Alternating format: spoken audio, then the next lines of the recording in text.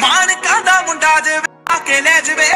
ਕਾਲੀ range ਉੱਤੇ ਫੁੱਲ ਲਾ ਕੇ ਲੈ ਜਵੇ ਮੇਰੀ ਅੜ ਜੀ ਜੱਟੀ ਫੇ ਨਰਮ ਹੋ ਜਾਊ ਖੱਬੀ ਸੀਟੀ ਉੱਤੇ ਦੇ ਬਿਠਾ ਕੇ ਲੈ ਜਵੇ